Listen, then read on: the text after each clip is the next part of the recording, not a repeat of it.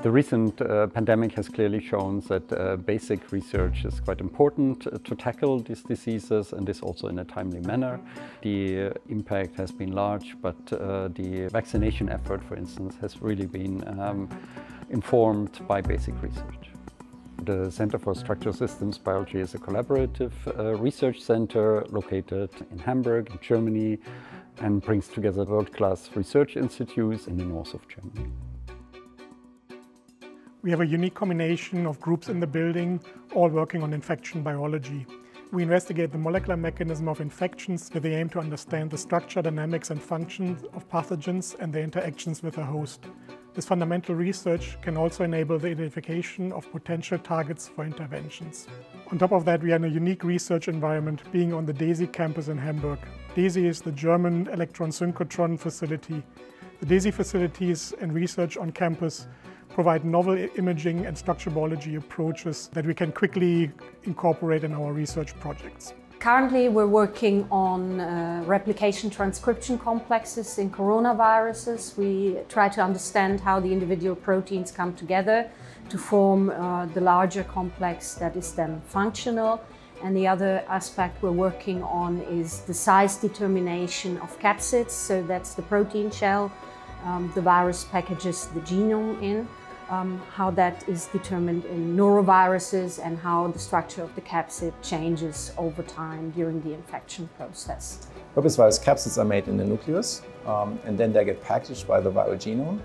And this packaging is done by the viral terminase, um, and it's kind of a pump that pumps the viral genome into the capsid. And in this project, we're mainly using the lattice light microscope, so we can follow full um, replication cycles in an infected cell. Um, and we use this here um, to understand how this packaging is mediated in the living cell. So if we figure out how this interaction between the terminase and the genomes are working, then we can actually try to inhibit this. So this is a path to development of new, of new antivirals. AI is used in CSSB in many ways. One is the use of deep learning protein structure predictions. Uh, we use this to generate structural models of many protein-protein complexes, for example, formed within viruses and between viruses and the host cells. So one of the molecular complexes that we worked on is a nuclear pore complex, and we work on this in collaboration with other researchers in Germany.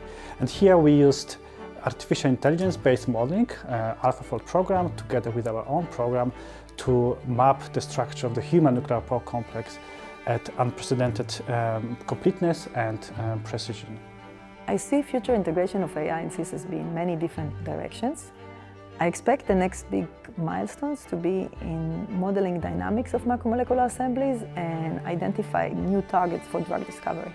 Computational methods um, can speed up the process of, uh, of the discovery by generating hypotheses that can be tested in the wet lab and vice versa. Uh, modeling can be also used to interpret uh, the results of experiments.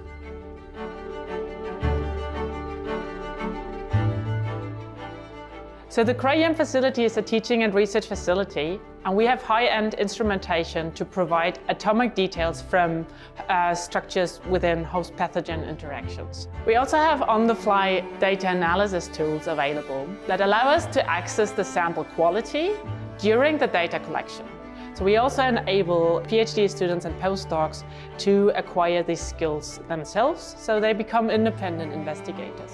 My project specifically deals with a DNA recombination pathway, specifically the rough AB branch migration complex, where the goal is to understand how this complex transforms the energy acquired from ATP hydrolysis and transform it into a mechanical work which is necessary for uh, the Holliday Junction branch migration. Thanks to the great equipped Cryo-EM facility, I was able to record more than 50,000 movies uh, containing several millions of particles that I could later extract and using the high performance cluster, which is available through the DESY computing uh, service, process the data to a really high resolution where we could uh, start understand atomic details. CSSB is a great place for being a postdoc, which offers plethora of methods which allows us to tackle our biological problems from different perspectives and find our answers.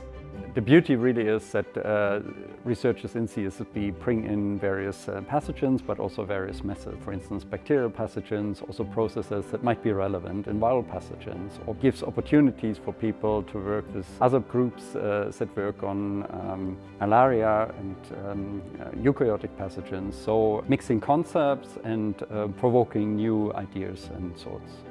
We're working with the malaria parasite. In our department, we are asking very simple questions about the biology of the parasite, such as uh, how does the parasite get into our red blood cells, how does it transform the red blood cell, and how does it escape. And we are trying to probe into the answers of these questions by using reverse genetics, uh, biochemistry to structural biology.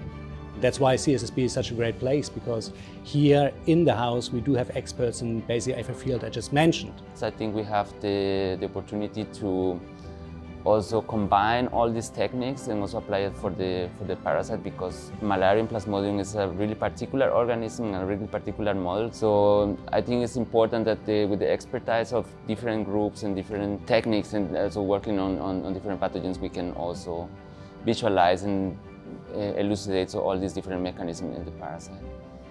Working on emerging pathogens comes with its own challenges and it requires unique infrastructures. The CSSB houses experts covering all major pathogen groups, allowing us to make a mark on a broad front. So we really see CSSB as being at the forefront of uh, technologies, but also research in the area of structural and infection biology. This will um, in the end allow us uh, to tackle important uh, questions and make um, relevant contributions. So that's um, what we will bring to the table and what we will hopefully also be known for more in the future.